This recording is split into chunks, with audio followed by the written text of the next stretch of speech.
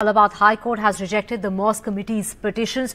All petitions by the Mosque Committee have been rejected. The 1991 dispute to be heard in Varanasi Court. So, breaking news coming in as far as the Gyanvapi case is concerned. And there we have the Allahabad High Court uh, has rejected the Mosque Committee's uh, petitions.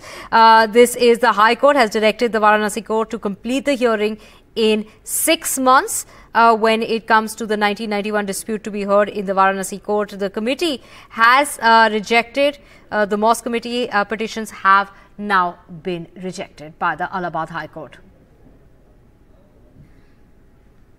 My colleague Tanishq is joining us. Uh, Tanishq, breaking news coming in of the Varanasi court, uh, which has now rejected the Mosque committee's petitions. Yes, exactly. Uh, Divya, the Allahabad High Court has rejected the Mosque Committee's uh, Mosque Committee's petitions. Now, in the Mosque Committee, there are uh, there are two groups: the Anjuman Intizamiya Masjid Committee and UP Central Waqf Board. They are the petitioners in the, from the mosque side. Uh, they they petitioned that the that, that these particular cases are that the 1991 civil suit. So it is a civil civil suit. These are not maintainable under the 1991 Places of Worship Act.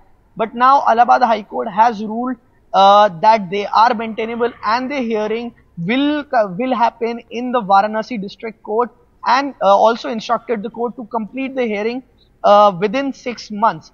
Uh, but now, of course, this can obviously be challenged by the Mosque Committee in Supreme Court as well, and then the hearing will take place in the Supreme Court about whether or not these cases are maintainable or not.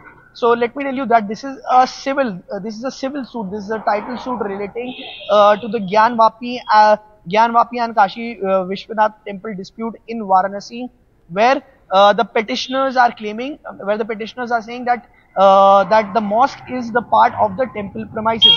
It dates back to 1991, where three petitioners filed the petition saying that the mosque is the part of the temple's premises.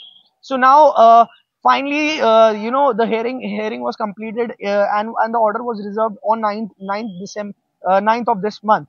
Today, the Allahabad High Court has ruled that the cases are maintainable and can be heard. Now that these all these cases, all these cases will be heard in the Varanasi District Court. Uh, the, the court also instructed that uh, uh, uh, that the hearing to be completed within uh, that the court to uh, that the hearing to be completed within six months.